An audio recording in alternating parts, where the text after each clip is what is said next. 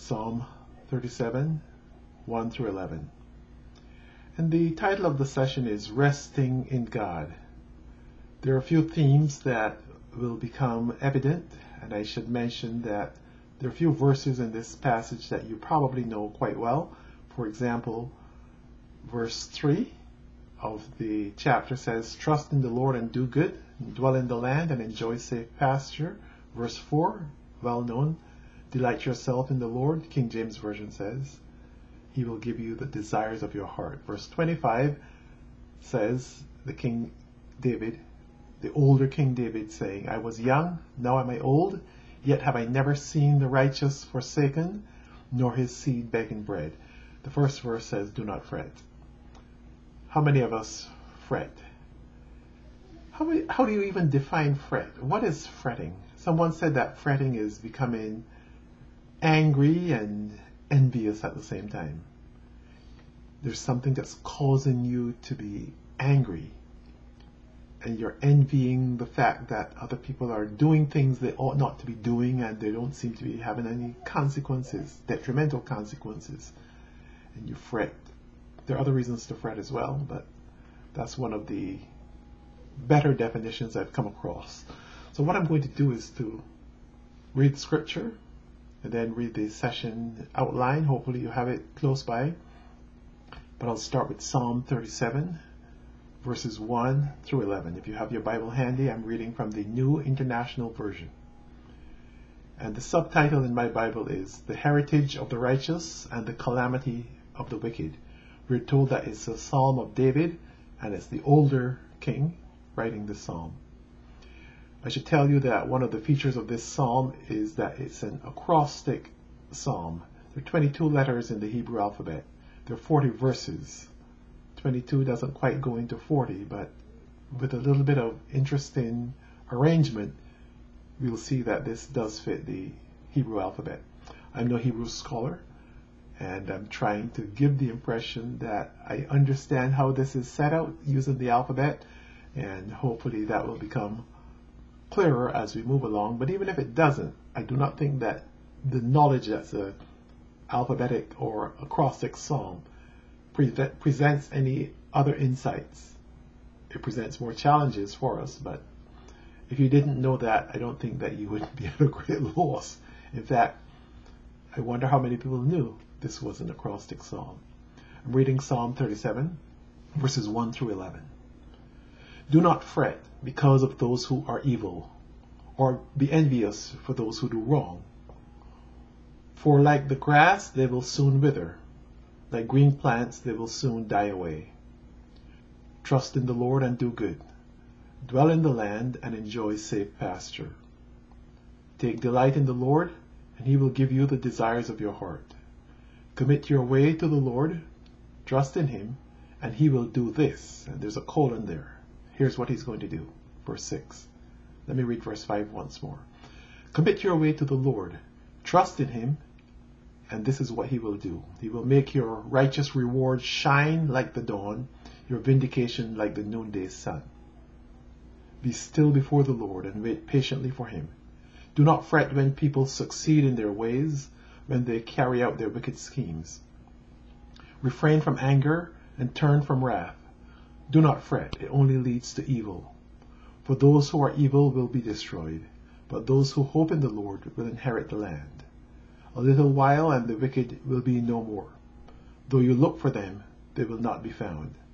Verse 11 But the meek will inherit the land and enjoy peace and prosperity. On the handout, I've provided the entire chapter, and you'll recognize that some of the themes mentioned in the first 11 verses come up again and again. For example, the whole idea of the wicked and their end comes up perpetually, and the righteous and their outcomes as well. Back to the session in context. I'm reading Resting in God.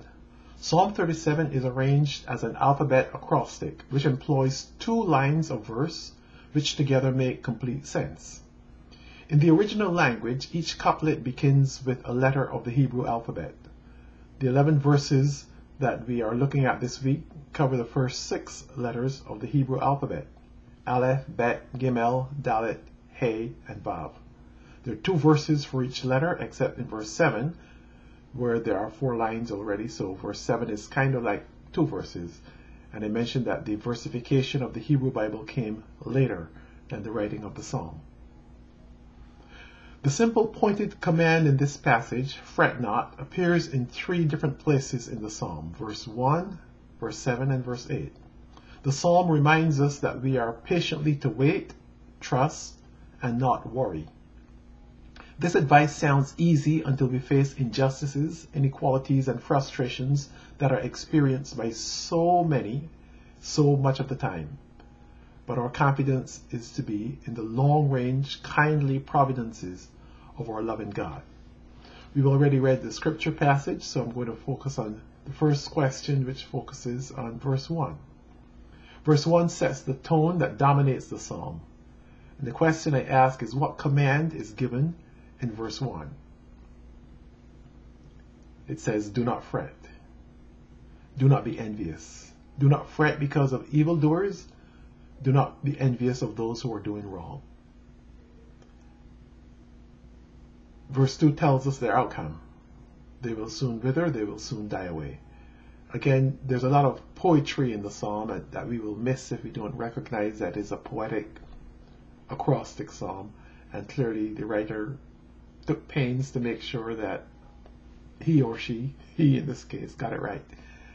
But we believe that the Holy Spirit inspired the writing of the psalm. So I asked a question about the word fret. And I looked at other translations and they use words such as worry, get upset, be angry, agitated, preoccupied. So the synonyms for fretting are worry, upset, angry, agitated, preoccupied. The command is given not to fret and not to worry. Back in the Caribbean, we would quote a Bob Marley song which says, Don't worry, because everything is going to be all right. And there's so many other songs that focus on this idea of not worrying. Why worry when you can pray? Trust Jesus, He will lead the way. Another one that comes to mind.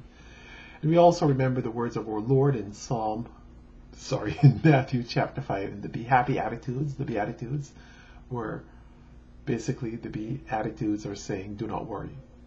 Do not worry, but trust in God. Question number two says, how would you define envy?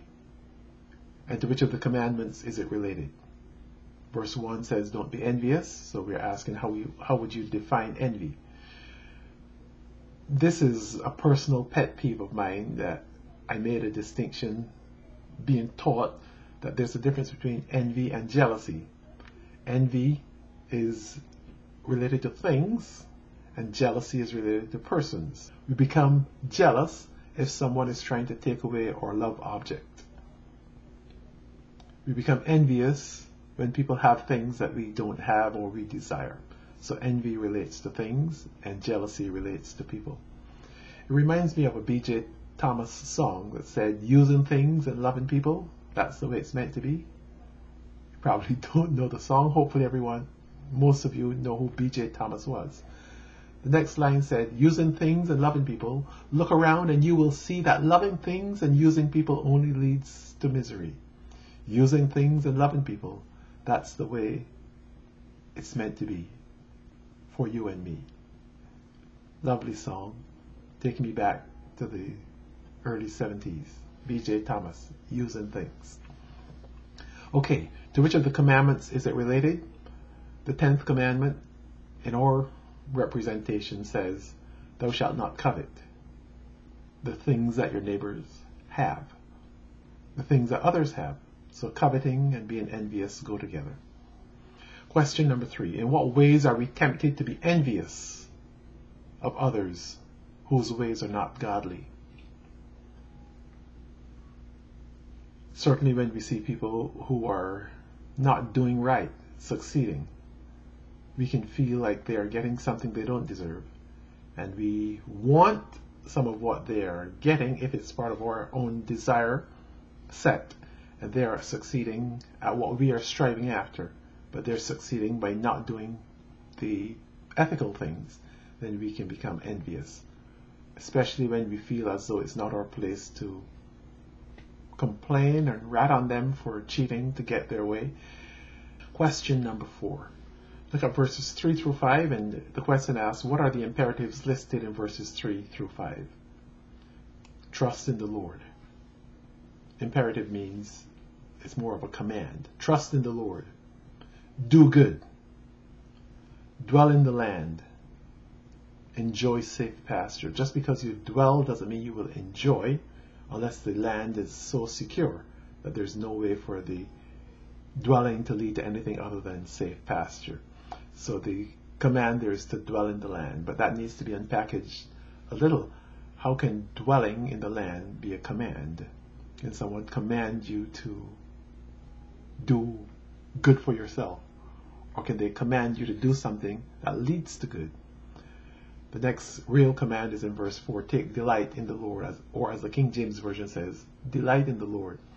But can someone command you to delight? I say you can pull a string, you can't push it. And someone commanding you to take delight is interesting. It's commanding you to be happy. Be happy. You can tell me to be happy, but that doesn't make me happy. You can do something that would cause me to be sad, but you can easily enforce happiness. Take delight in the Lord. This command does give us a promise. He will give you the desires of your heart. And there's been, in my experience, not controversy, but alternative interpretations of this verse. And I've heard people say that it means that He will give you the desire. He will replace the desire in you to be the desire that you ought to have. If you trust in Him, He will do that heart transplant, give you the desires of your heart. Sort of like David saying in Psalm 51 Create in me a clean heart and renew a right spirit within me. So I had never thought of that before, but I think it works here. If you delight yourself in the Lord, He will give to you the desires of your heart. It is not prosperity. At least I don't interpret it as prosperity. Some translations do say He will prosper. And even in verse 11, the last verse that we're looking at today, it says, The meek will inherit the land and enjoy peace and prosperity. So the same idea comes in verse 3 as in verse 11 again needing some unpackaging. Remember that the old king is writing based on his life experiences and telling those who are listening, let's say one of his sons, if you do right, that God will straighten your paths. Or as Solomon says in Proverbs chapter 3, verses 5 and 6, trust in the Lord and do not lean on your own understanding. In all your ways acknowledge him, and he will make your path straight. In all your ways, acknowledge him, and he will straighten your paths so that you don't have to go on this crooked alternative. And finally, verse 5. The question we're answering is question number 4, the imperatives listed in verses 3 through 5. And verse 5 says, Commit your way to the Lord. Trusting in him comes back again. And verses 5 and 6 clearly belong together because the punctuation at the end of verse 5 is not a period, it's a colon. Trust in him, and this is what he will do. Make your righteous reward shine like the dawn, your vindication like the noonday sun. And I've read somewhere where it says that the way the sun shines at dawn is different than the way the sun shines at noonday. So that it's an intensifying of what he will do for you. He will make your righteous reward because you trust in him, the righteous reward that you will obtain will shine in the dawn. And your vindication, vindication, when I think of vindicate, I think of winning. The V-I-N reminds me of W-I-N. And in a form of vindication is winning or being determined that you were right in the first place, your rightness. So he'll make your righteousness shine like the dawn, your rightness, your correctness, your right behavior and the results of that, like the noonday sun. So there is a reinforcement of the idea that you're seeking to do what is in God's will will lead to a reward, that God will direct your paths, prosper you, however you want to interpret it, again, in a spiritual sense. But I want to focus on verse 5 commit your way to the Lord. I was communicating with someone who mentioned a book to me, and the author of the book suggested that the commands given here are to be more of a pattern for how we organize our life. Trust in the Lord, verse 3. Take delight in the Lord. Commit our way to the Lord. And then I came across the interpretation of what committing your way to the Lord actually means.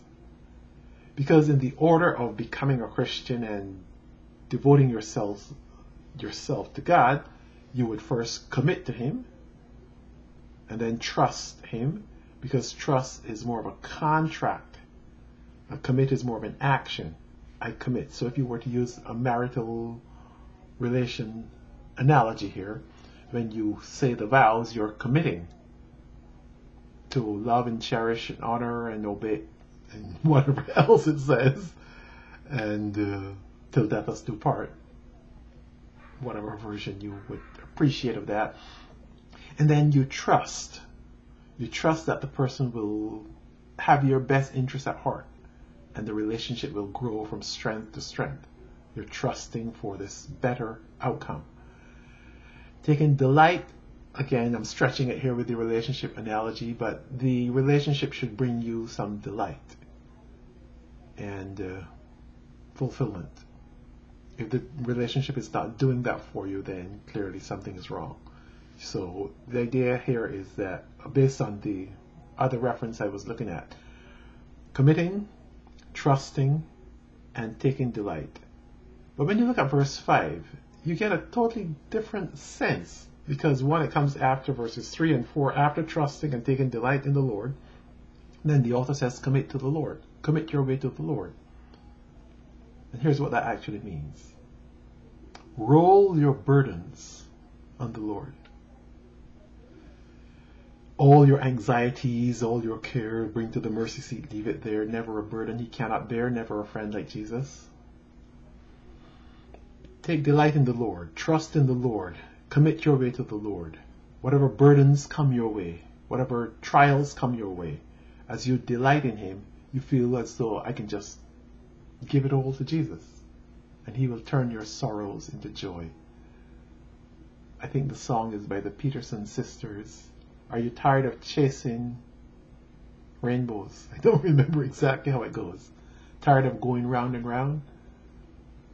At the feet of Jesus, lay them down. Your burdens. Give it all to Jesus, and He will turn your sorrow into joy. So that's the idea in verse 5. Committing your way to the Lord is giving, giving Him all your anxieties and all your cares. Commit your way to the Lord roll your burdens onto him. And I thought of a song, an old chorus that said, Roll, roll your burdens away. Roll, roll your burdens away. Roll, roll your burdens away. For Jesus has promised to take them away. Roll, roll your burdens away. And you can probably think of many other songs with the word roll in them. Some available in your hymnal, songbook. And uh, a few come to my mind right now, but I think the idea is transmitted. So, verse 5 commit your way to the Lord, roll your burdens on the Lord, and trust in Him. So, the trust in verse 3 comes back in verse 5. Trust in Him and roll your burdens on Him. And there's a promise in verse 6 He will make your righteous reward shine like the dawn, He will make your vindication like the noonday sun. That's a good promise. Trust in the Lord, take delight in the Lord, and roll your burdens on the Lord or commit to the Lord. So that takes care of question number five. What does trusting in the Lord look like in your life? Well, sort of trusting in the Lord. For me, trusting in the Lord means that I'm waiting and hoping, scriptural hope, believing that He will actually part my Red Sea and he will help me to cross the Jordan River. And again, the words of verse 25 come to my mind. I was young, now am I old, and yet have I never seen the righteous forsaken, nor his seed begging bread. That is the comfort that I was given as a child. That verse 25 of Psalm 37 is basically saying, if you trust in the Lord, he will make your righteous reward like the dawn and your vindication like the noonday sun. Quite a good promise. For, so for me, trusting in the Lord means just waiting on Him. Isaiah says in chapter 40, for those who wait on the Lord, chapter 40, I should look it up, right? For they that wait upon the Lord shall renew their strength. They shall mount up with wings as eagles. They shall run and not be weary. They shall walk and not faint. And I'm actually going to go and use my computer skills and verify what I should have known, what I used to know. And we'll see Isaiah 40. I think it's Isaiah 40, the last verse in Isaiah 40. A little embarrassed. but that's all right. Was a little slip up among friends, right? And uh, it says, Comfort my people, first verse. And the last verse says, Those who hope in the Lord will renew their strength. They will soar on wings like eagles. They will run and not grow weary. They will walk and not be faint. That's the NIV. So we have a sense as to where this is going. Let's get back to the Sunday school lesson. So I said that trusting in the Lord for me is waiting on God and hoping and believing. One song says, trusting is believing that God will keep his word. Trusting is believing that God will keep his word. That's probably not the right tune, but you get the idea. Trusting is believing that God will keep his word that all of my cries to him will be heard. Again, I wish I remembered the song. I could look it up, but that would only slow up the lesson a little bit more. Question number six. How might we take delight in the Lord? How will doing that, taking delight in the Lord, impact the desires of our hearts?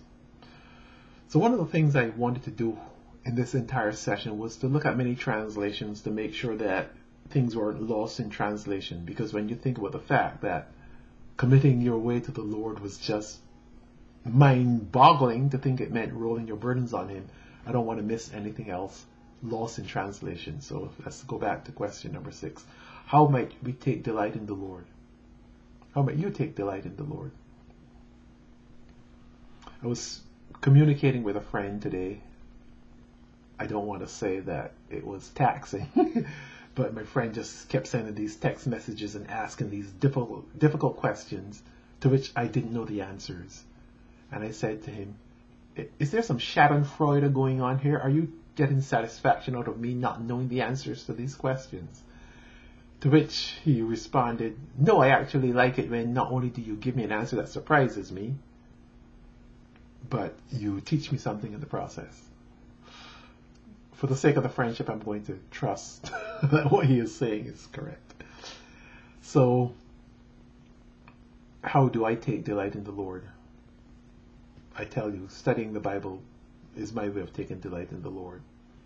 And some of you who know me might know that singing, singing psalms, hymns, scriptural words also is my way of delighting in the Lord. How will doing this impact the desires of my heart? Sometimes when I feel like fretting, I get redirected when I start to sing songs that comfort me, that cause me to look at my situation and realize that I actually have not only a good life, but the blessings of God, that He is not giving me what I want, but He is meeting my needs. And having the comfort of that is all I want.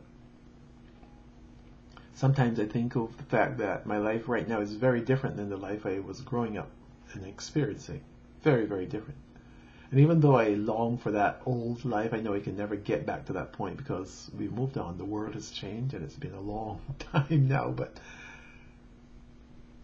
my desires now different than my desires when I was younger. I think I lost the point there, but delighting in the Lord and sometimes delighting in the Lord can change as we grow older. For example, if I delighted in the Lord by doing certain things that I can no longer do, then I have to find new ways to delight in the Lord. Or as I grow closer to Him, I can delight him, in Him in ways that I didn't delight in Him in the past because I didn't have those experiences.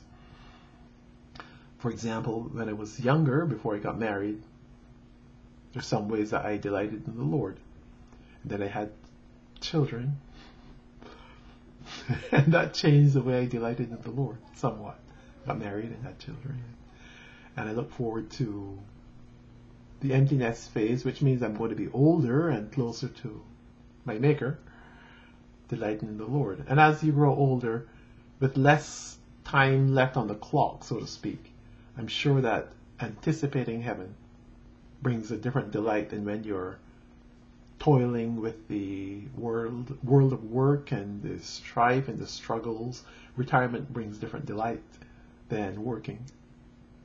Sometimes we rationalize and we say we're delighting in what we're doing, but we are really enduring it. So we are trying to deal with the noise in our heads, the cognitive dissonance. So we rationalize and say we like things or things give us delight.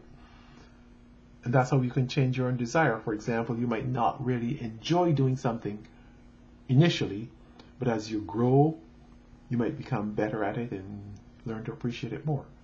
I've been trying to exercise, I call it exercise, the past few weeks, and uh, now I can run. I used to run in the past and I forgot how to run. Now I can run again, and I feel good about that. The muscles are accustomed now to that form of exercise, and that's a good thing. Back to the lesson, of course. Hmm. Let's go on to question number seven.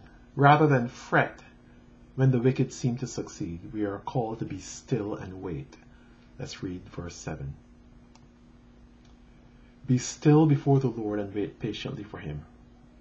Do not fret when people succeed in their ways, when they carry out their wicked schemes. This is almost a repeat of verse 1. Do not fret because of those who are evil and be envious of those who do wrong. Do not fret when people succeed, when they carry out their wicked schemes. So we see evil and we see wicked. And I'm putting them as synonyms here. Evil and wicked. Wicked is clearly an adjective and evil is a noun, but I think the idea is the same. So let's go back to the question. Number seven. Rather than fret when the wicked seem to succeed, we are called to be still and wait. In other translations, interestingly, use the word rest for be still. To rest or to be patient or to quiet your heart or to be silent. Rest. Rest in the Lord. I thought of the French word rester to stay. Just stay. Be still. Be quiet. Slow down rather than fret, calm yourself down. So the calming is a way of combating the fretting. It's like changing your mindset, the log jam of negative and upsetting thoughts being replaced when you be still. Psalm 46, 10, be still and know that I am God. I don't want to sound new age-ish, but new age-ish, is that even a word? Of a new age variety. But just calming yourself down and being still.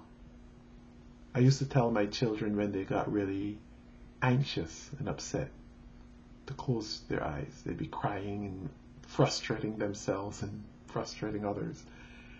And I say, if you close your eyes, I think that the stress will be less because your eyes are not engaging your surroundings and adding to the stress. So close your eyes. And I thought that closing your eyes helps with your breathing.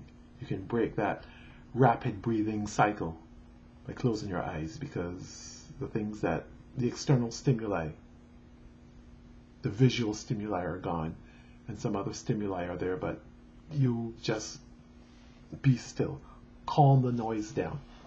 So I think that sticking to that, to that analogy for a moment, closing your eyes reduces the stimulation. Being quiet reduces the stimulation. Settling your mind. That will keep him in perfect peace, whose mind is stayed on thee. So being still, be still, for the presence of the Lord is in this place. Be still and know that I am God be still. You can think of other scriptures that refer to being still, and I think they will work here. You're called not to fret. Rather than fret at the wicked succeeding, close your eyes. Take your focus off the world and the things of the world and set your gaze on Jesus and what he has done for us and what it means for eternity. Take your eyes off the present and put your eyes on the future. His eye is on the sparrow, and I know he watches me. Not quite the perfect analogy, but regazing or averting or gaze from one thing and onto something else. Gazing at Jesus, gazing at the cross, gazing at the mercy seat, gazing at what we have committed to. Again, trust in the Lord, delighting in the Lord, rolling your burdens on the Lord, not fretting. Be still before the Lord. Good four point sermon if you wanted one there. Trust in the Lord. Delight yourself in the Lord. Commit your way to the Lord. And be still and wait on the Lord. For they that wait shall have their strength renewed. Isaiah 40, verse 31. Let's go back to the Sunday school lesson and the passage. Let's look at the last verse, verse 11. It says, The meek will inherit the land and enjoy peace and prosperity. I'm not exactly sure where to go with that. Part of the reason I'm not sure where to go with it is because it says the meek will enjoy, will inherit, and then enjoy peace and prosperity. And it raises the question how do we define meek? Who are the meek? Who are the meek being referred to in this verse? The old king is writing, let's say, to his son and saying, Don't fret, the meek will inherit the land. And he also mentions in verse inheritance. Where is that? Dwell in the land and enjoy safe pasture. And the word inherit comes up in verse 9 again. Those who are evil will be destroyed. Those who hope in the Lord will inherit the land. So verse 9 says, Those who hope or trust in the Lord will inherit the land. And verse 11 says, Those who are meek will inherit the land. So the hoping and the meekness go together. Meekness is an interesting fruit. If you remember in the fruit of the Spirit, King James Version, it says love, joy. Let me not mess this up. Love, joy, peace, long suffering, goodness, gentleness, faith, meekness, and temperance. So the eighth fruit mentioned, or number eight on the list, is meekness. And this is a fruit that the Spirit ripens in us. So we don't start out being meek. But the word meek has a lot of weak connotations. Meek, weak. And I've heard cliches, don't let my meekness be taken for weakness. The meek shall inherit the earth. Gentle Jesus, meek and mild. Lots of associations of not fighting back. Mm, so you think of Gandhi, probably not the greatest analogy to use Martin Luther King, and more recently, John Lewis. Individuals who are meek, who want the right outcome, but they will choose the approach that is not violent or not reactionary, but they want to love you into the kingdom Turn in the other cheek idea.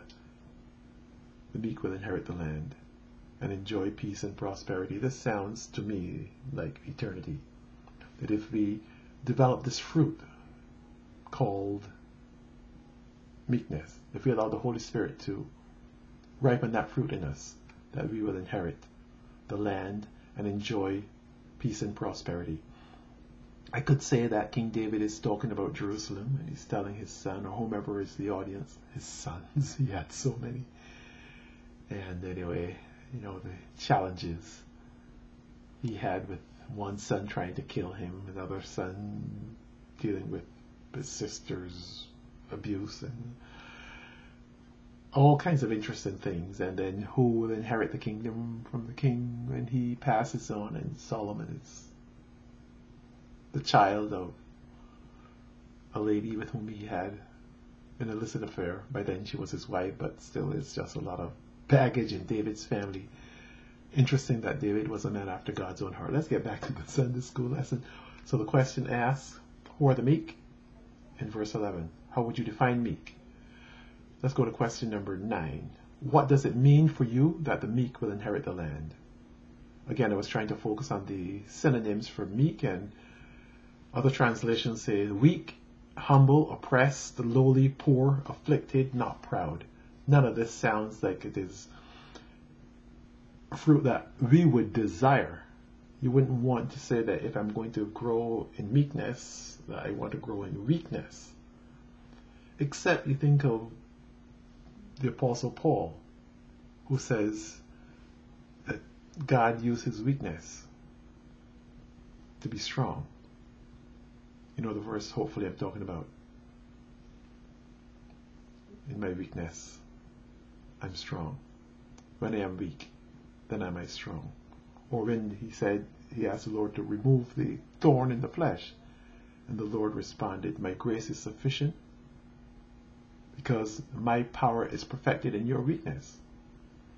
So maybe Paul needed, I say, to be humbleized from the more arrogant self he was when he was persecuting the Christians. Then he had that dramatic conversion. And then he went to the desert for a while. And then he became meek. So the arrogant Paul becomes the meek Paul. And the arrogant Saul, I should say, becomes the meek Paul. And this is a good thing. So when we say, Change my heart, O God, hopefully you have a sense of the song I'm thinking of. Change my heart, O God. Make it be like you. Something along those lines. Change my heart, O God. May I be like you. Make it ever new. May I be like you. Change my heart, O God. But we're saying, change my heart so that my other otherness can become meekness. I can make myself meek before the Lord, knowing that like he said to the Apostle Paul, my power is perfected in your meekness. Weakness, meekness. So again, the other translations say weak. So meekness is weakness, humility, oppress, oppression, lowliness, poverty, affliction. How do we inherit? We'll go back to the Sermon on the Mount, and where we are told the last of the Beatitudes is be happy when they revile you and persecute you and say all manner of evil things against you. Falsely for my sake, rejoice and be exceeding glad, for great is your reward in heaven because they persecuted the prophets who were before you. Jesus telling his disciples this. But also, we know that the disciples were also going to get persecuted. And if these martyrs could pave a way for us as Christians then we also need to say, well, gee, what is my contribution to the kingdom? Having the Lord just give me, give me, give me like a spoiled child asking for what we want? Or saying, have thine own way, Lord, have thine own way. You are the potter, I am the clay. Mold me and make me after your will while I am waiting, yielded and still. Oh, to be like thee, lowly in spirit, holy and harmless, patient and brave, meekly enduring cruel reproaches, willing to suffer, others to save. Heavenly Father, help us to be more like you. Make us more like you, Jesus. Give us a heart that's filled with love and make us more like you. Thank you for the promise in this lesson that the meek will inherit, both from the Beatitudes and the Psalm, Thank you for the wisdom in the psalm not to fret, but to cast our gaze on you, to trust in you, to delight in you, to commit our way to you, to roll our burdens on you, and to be still before you. May this lesson penetrate our hearts and stay with us and help us to be stronger as we serve you, willing to suffer, others to save. Help us to have that burning desire to see others come to salvation. Not to focus on our own self and our own stuff, but to recognize that in these difficult times, if ever there was a time we needed you, it is now. And if we feel that need for you, that others who don't know you certainly have a need for you, you'll give us the boldness to carry the gospel with a burning passion inside of us to share what you have done for us. May we take the charge, like the song says, gird on the armor and rush to the field, determined to conquer and never to yield, so the enemy shall know that we are fighting for you. Give us the boldness, give us the courage, Give us the blessing. In Jesus' name. Amen and amen. God bless you.